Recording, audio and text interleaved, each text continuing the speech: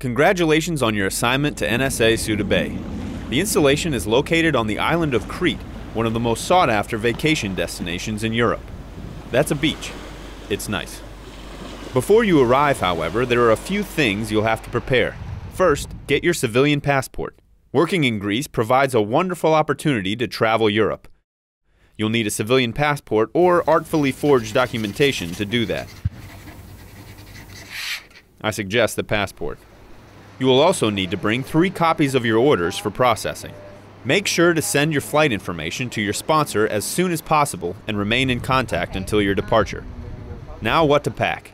Bring your uniforms and as many of your civilian clothes as possible with you rather than sending them in your pack out. You are only allowed to wear civilian clothes off base and will be traveling in them. You'll also want your uniforms on hand so you don't have to wear those skinny jeans on your first day. Skinny jeans are played out. Now you're ready to go to Souda Bay. No, you won't be arriving in one of those. You'll either take a commercial flight or a military flight. Commercial flights arrive at the Chania International Airport, and military flights arrive at the air terminal on base. Your sponsor will be there to meet you when you arrive. If you fly commercial, you should carry 50 euro for a taxi just in case. Greeks use cash for almost all business transactions, so get euro as early as possible. There are euro ATMs at the airport and on base. At NSA Souda Bay, there are some installation specific policies you should be aware of. There is no drinking allowed for the first 30 days, regardless of pay grade.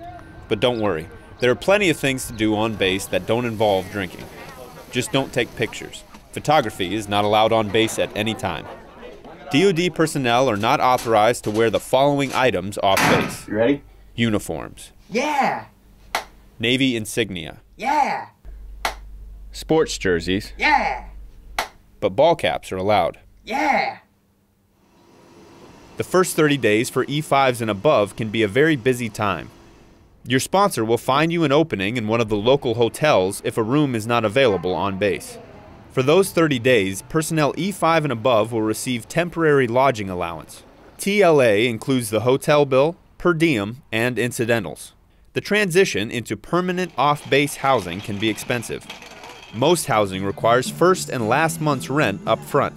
It may sound excessive, but it's a good idea to set aside two to four thousand dollars to cover the payment. Your basic allowance for housing will eventually reimburse you for these months, but you'll need to make the initial payment out of pocket. If you have any more questions, be sure to ask your sponsor. Now all you have to worry about is not missing your flight.